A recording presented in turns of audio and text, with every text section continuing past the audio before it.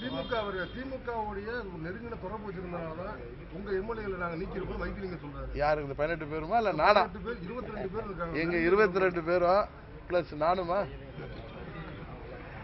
நான் திரு ஸ்டாலின் அவர்களை நான் பார்த்தே பல வருடம் ஆகுது. எப்பயாவது விமானத்தில் பார்த்துருக்கேன் அவரை. நான் சட்டமன்றத்தில் பார்த்ததில்ல. நான் சட்டமன்றத்தில் நான் உறுப்பினராக இருந்ததில்லை. எங்கள் உறுப்பினர்கள் கட்சியை காப்பாற்ற வேண்டும் என்பதற்காகத்தான் அவர்கள் போராடுகிறார்கள். அவரோட திமுகவோட போய் தொடர்பு வைக்கிறதுனால இவங்களுக்கு மானிட்டரியாவோ எந்த பெனிஃபிட் இருக்கு? எடப்பாடி அண்ணன் கூட இருந்தால் கூட நிறைய வரும்படி கிடைக்கும். வருமானம் இருக்கும். மாதம் மாதம் ஐம்பது லட்சம் ஒரு கோடி தரதா சொல்கிறாங்களே அதெல்லாம் கிடைக்கும். கான்ட்ராக்ட் கிடைக்கும் கமிஷன் கிடைக்கும். அதெல்லாம் வேணான்ட்டு தானே இவங்க கட்சியை காப்பா வேற ஒன்றுமே இல்லை. யாரும் மந்திரி ஆகணும்னு கேட்கல செந்தில் பாலாஜியோ பழனியப்பனம் இன்னைக்கு பழனியப்பனையோ செந்தில் பாலாஜியோ என்னமோ தீவிரவாதிகளை தர்ற மாதிரி நம்ம காவல்துறை ஆனால் இந்த நேரத்தை சொல்லிக் கொள்கிறேன். காவல்துறை நடுநிலை வைக்க வேண்டும்.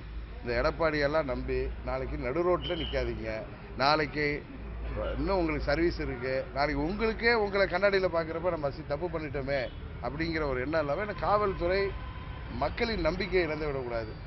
ஏதோ ஒரு முப்பது பேர் இங்கேருந்து ஒரு மூணு டிஎஸ்பி இல்லை ஏசி ஒரு டிசி எல்லாம் சேர்ந்து செந்தில் பாலாஜி தீவிரவாதியா இல்லை அல்லுமா தீவிரவாதியா? என்ன அவங்க யார்? அவங்க பெயிலில் எடுத்துகிட்டு வர போகிறாங்க அது மாதிரி அனுபவி சகோதரர் நாஜின் சம்பத்தை அவர் ஏதோ பேசினார்னு சொல்லிட்டு அவர் மேலே கேட்டு அவர் போய் இடைக்கால தடை வாங்கிட்டார். இது மாதிரி இவங்க இது மாதிரி அடக்குமுறைகள் அராஜகங்கள் என்றைக்கும் வெற்றி பெற்றதில்லை. இவர்கள் அவங்க தேர்ந்தெடுக்கப்பட்டு முதல்வரானவர்கள் மக்கள் எல்லாம் சேர்ந்து இரநூத்தி முப்பத்தி நாலு இப்போ அம்மாவை தேர்ந்தெடுக்கிற மாதிரி திரு கருணாநிதி அவர்களை தேர்ந்தெடுக்கிற மாதிரி இவங்க வந்து முதல்வர் கேண்டிடேட் இல்லை இடையில கிடந்த வாய்ப்பு இதில் இருக்கிற வரைக்கும் இருப்போம். அனுபவிப்போம்னு நினச்சிட்டு பண்ணுறது எல்லாம் அவர்களுக்கும் அவர்கள் வருங்கால சந்ததியுமே துரோக கும்பல் என்கிற ஒரு பெயரை வரலாற்றிலே தமிழ்நாட்டில் எப்படி எட்டப்பன்கிற ஒரு பேர் நிற்கிது அது மாதிரி எட்டப்பர்கள். ஒரு எட்ட நேற்று யாரோ சொன்னாங்க பன்னீர்செல்வம் எட்டப்பன்.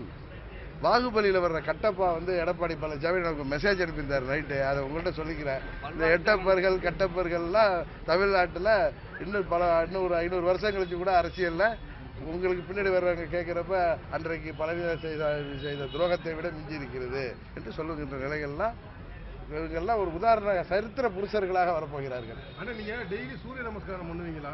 ஆனா இப்ப கண் கட்ட பிறகு சூரிய நமஸ்காரம் பண்றீங்களா? யார் சொல்றது? சொல்றாரு. நான் ஏற்கனவே சொல்ல நான் பஃபூனுக்கெல்லாம் பதில் சொல்றதுல நான் பல சொல்றேன்.